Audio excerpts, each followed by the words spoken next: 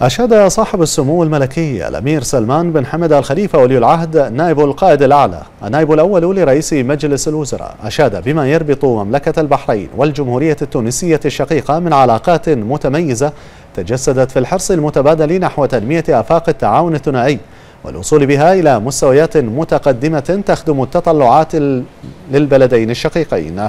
جاء ذلك لدى لقاء سموه حفظه الله بقصر القضيبية سعادة السيد محمد بن يوسف سفير الجمهورية التونسية الشقيقة لدى المملكة بمناسبة انتهاء فترة عمله في البلاد حيث نوه سموه بالجهود الطيبة التي بذلها السفير والتي أسهمت في دعم وتعزيز أطر التعاون بين البلدين في مختلف المجالات. متمنيا سموه للسفير المزيد من التوفيق بما يسند إليه من مهام جديدة.